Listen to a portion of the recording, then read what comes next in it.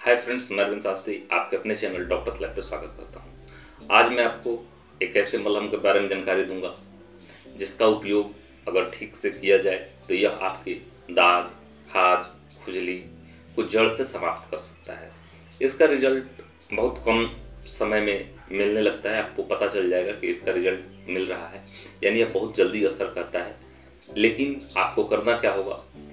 कि इसे ठीक से लगाना होगा। इसका जो तरीका है, उसी हिसाब से अगर लगाएँगे तो आपको जल्दी राहत मिल जाएगा, जिसके बाद तो एक बार फिर से आपके अपने चैनल दोस्तों, पारस मनी मलहम को प्योर आयुर्वेदिक जड़ी बूटियों से बनाया गया है। यानी इसको बनाने के लिए सिर्फ़ आयुर्वेदिक जड़ी बूटियों का ही इस्तेमाल किया गया है, जो कि इस डब्बे पे तो मेंशन नहीं है, लेकिन वास्तविकता यह है कि सिर्फ़ जड़ी बूटी से इसको बनाया गया है। पारस मनी मलहम एक आयुर्वेदिक ऑइंटमेंट है। जिसका उपयोग आप दाद खाद, खुजली को ठीक करने के लिए कर सकते हैं। यह आपको अढ़ाई सौ रुपये यानी दो सौ पचास रुपये के आसपास मिल जाता है। यानी अगर इसकी एम की बात की जाए तो दो सौ पचास रुपये है। यह कम भी हो सकता है बेसी भी हो सकता है, क्योंकि यह कंपनी पे डिपेंड करता है कि इसके रेट को वह किस प्रकार से रखती है।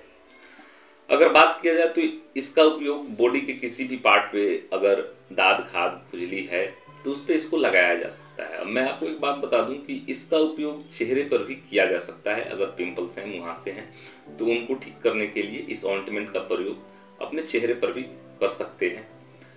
इसको लगाने का तरीका दोस्तों यह है कि आप सबसे पहले जहाँ पे आपको दाग खाद या खुजली, जहाँ पे मतलब इन्फेक्शन है फंगल इन्फेक्शन है, उस जगह को पहले धो लें। साफ़ तरीके से उसको धोएँ।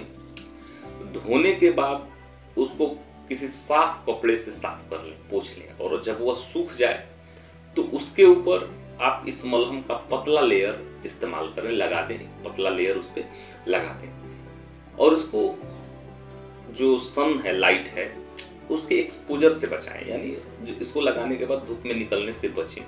या ज़्यादा बेहतर ये रहेगा कि इसको आप रात में लगाएँ। पारसमनी मलहम का उपयोग रात में करें, जिससे आपको जल्दी फ़ायदा मिलेगा अगर बात किया जाए तो इसका रिज़ल्ट आपको 15 से 20 दिन के अंदर दिखने लगेगा। आपको पता चल जाएगा कि इसका असर हो रहा है। अगर हम इसके साइड इफ़ेक्ट की बात करें तो इससे कोई रिकॉर्डेड साइड इफ़ेक्ट तो नहीं है, या कंपनी नहीं बताती कि इसके क्या साइड इफेक्ट्स हैं। लेकिन अगर आपको कोई साइड इफेक्ट्स दिखाई देता है तो आप इस दवा को छोड़ दें, तथा तुरंत अपने डॉक्टर से संपर्क करें, ताकि उससे आप निजात पा सकें। अगर आपको वीडियो अच्छी लगी हो तो वीडियो को लाइक करें, तथा चैनल को सब्सक्राइब करना ना